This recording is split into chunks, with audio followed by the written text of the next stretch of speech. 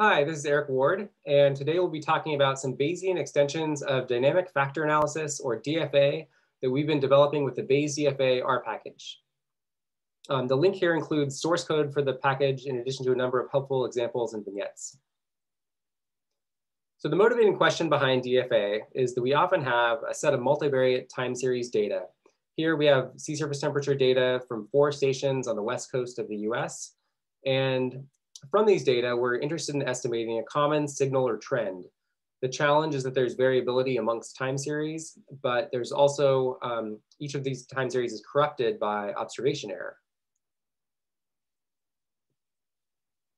So in the past, this has been thought of as a multivariate time series problem where um, for each of the latent trends between one and k, we can estimate those trends as latent random walks um, in addition to those, those, latent trends, we can estimate a loadings matrix Z.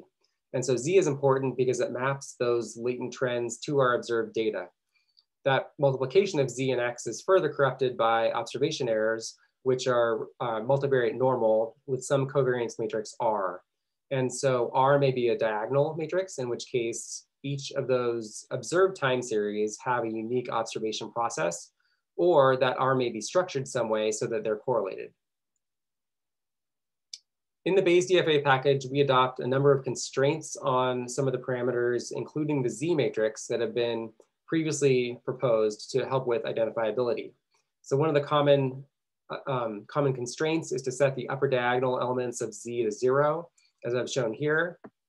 Um, but in addition, in the Bayesian sense, um, there's some, some priors um, and other constraints that we can think about.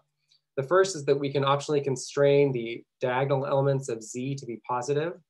Um, and the second is really to, uh, to develop the parameter expanded priors, um, which has been proposed uh, as another way to constrain the parameters. And so um, here we can turn that expansion prior on and off with the expansion prior argument to the fit DFA function. So one of the challenges in working with DFA in a Bayesian sense is that there's this really nasty label switching problem. So um, we can see that label switching occurs if we look at the results from multiple MCMC chains um, that are run in parallel. And so if we were to run this kind of model um, through a you know, conventional diagnostics, it would appear to not converge. But on closer, closer examination here using something like the ShinyStan dashboard, we can see that the red, um, the red chain um, on, the, on the bottom is uh, you know, converging on some parameter estimate that's the mirror image of the same parameter estimate that the blue and the green chains are converging on. Um, we can see the same thing with the posterior distribution on the right, where the posterior is multimodal because uh, um, the red chain is only exploring that negative region, whereas the blue and the green are exploring, exploring the positive. And so in the Bayes DFA function, we've in implicitly included a function uh, that's called invert chains. And so what this function does is after running a model, we'll find situations like the red chain um, and multiply it by negative one so that all of the chains are converging on the same solution and will pass, um, pass convergence tests. So next I wanted to talk about some of the novel features of the Bayes DFA package. And the first obvious one is instead of modeling the deviations in the process, those latent processes we, as normal, normal deviates, we model them as student t deviates. And so the student t distribution introduces one extra parameter, uh, this nu, which controls the, the flexibility of that distribution or how extreme the tails are. In the Bayes DFA package, we can either fix nu at some known value or we can estimate it as a free parameter. We have two, two example applications here of how to do that. The second novelty is instead of just modeling those latent random walks as random walks, we can model them as autoregressive processes in, by adding this phi parameter.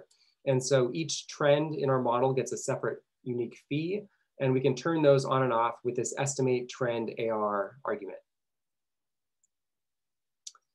So just like with AR processes, we can include moving average processes, which I've added here with the theta sub m, um, and each trend here gets its own underlying um, theta value. And we can turn those on and off again with the estimate trend MA argument. And so last I wanted to talk about relaxing the assumption that trends are modeled as random walks and instead let them model, be modeled with smooth functions. We've adopted two different ways to do this in the Bayes DFA package. The first is to model them as Gaussian processes, and the second is to model them as smooth splines, specifically B-splines. And so these kinds of smooth functions are probably appropriate in situations where data sets have high signal to noise ratios. And so these are just using two different data sets of fisheries catches from the west coast of the United States. But we can see that when we compare the fits of the B spline to the random walk, we get more precise estimates.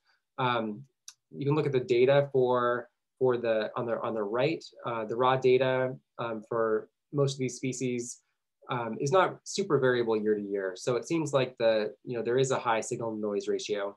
Um, and we get, we get more precise um, credible intervals than we do from the random walk model. And so in the Bayes DFA package, we can um, we can specify that the trend model is, is estimated with B splines by setting the trend model argument to spline. And we can optionally specify the, um, the number of control points or knots. And so more knots um, will result in a function that's more smooth and wiggly uh, compared to a model that has fewer. Similarly, with Gaussian processes, we can, um, we can specify that the trend model is model as a Gaussian process by specifying that trend model argument equals GP. And again, like with the basis splines, we can specify the number of knots, which results in different, um, different levels of kind of wiggliness of that smooth function.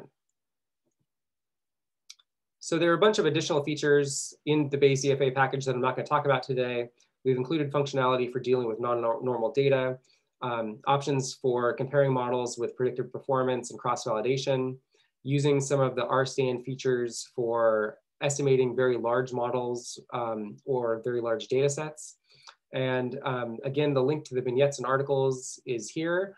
And if you have any questions, please shoot me an email and um, I'm happy to be happy to chat with you more. Thank you.